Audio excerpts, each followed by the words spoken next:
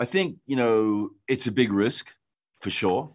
Um, and I think that the studio, which is a young studio, this is um, their their first uh, big theatrical release.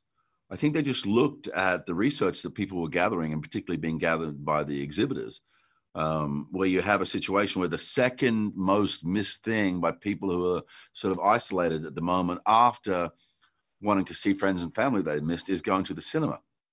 That surprised me, and I think it, it surprised them. And then when you drill a little deeper into that research, you know, what type of film would you see if you went to the cinema? Is it a romance? Is it a love story? No, it was a thriller. And that's just some of those strange kind of foibles and quirks of humanity. You know, here we are in this situation that's affecting the globe, it's affecting every one of us, you know, some obviously more than others, but we've all had our lives adjusted around this situation. And what we're yearning for, in a way, is the things that make us feel like normality is being regained.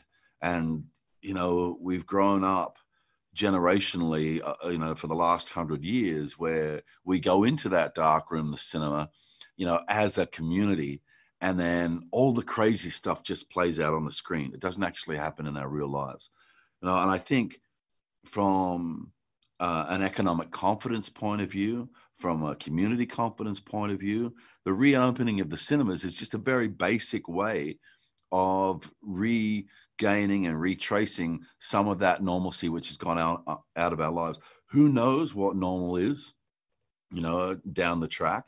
Um, but you know, we will see. And there's been a lot of work put into by local governments, by the exhibitors, by the distributors, trying to work out exactly how to see a movie and remain safe. You know, so that work's being being done, and there's just a big yearning, I think, for all of us for this stuff that's in front of us to get out of the way and for our lives to uh, rebound and, and, and restart. That's not always going to be, or that's not as going to be a, a, simple linear line. You know, uh, I think we're opening in 44 states. So there's obviously six places that there's still not going to be any um, cinemas open in. Um, but, you know, the most important thing with all of this is is keeping people safe. Um, but yeah, I think film is such an important touchstone for all of us that the reopening of cinemas, that feeling that normalcy is possible, I think is a very positive step forward.